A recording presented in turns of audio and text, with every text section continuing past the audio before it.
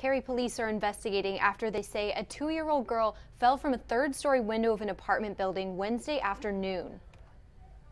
Police say a call came in at 1:57 p.m. for the incident, which happened in the 2900 block of Waterford Forest Circle at the Waterford Forest Apartments.